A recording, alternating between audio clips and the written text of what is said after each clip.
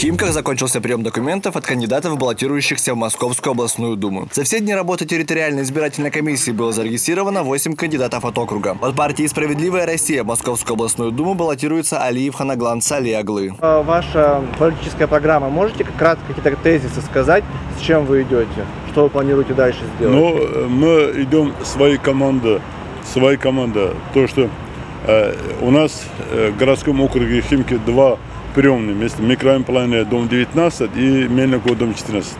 Да? Э, э, жители к нам охотно идут, потому что мы старались, стараемся Будем дальше продолжать стараться, стараться жителям помочь. Каждый кандидат презентует свою программу и рассказывает о политических планах. Вы, кроме помощи жителям, еще что-то планируете делать? Да.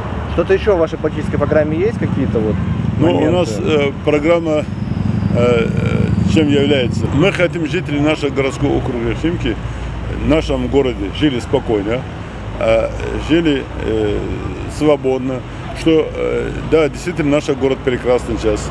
Мы это видим. Единый день голосования пройдет 19 сентября. При этом одновременно с выборами в Госдуму пройдут прямые выборы глав субъектов Российской Федерации и региональных парламентов.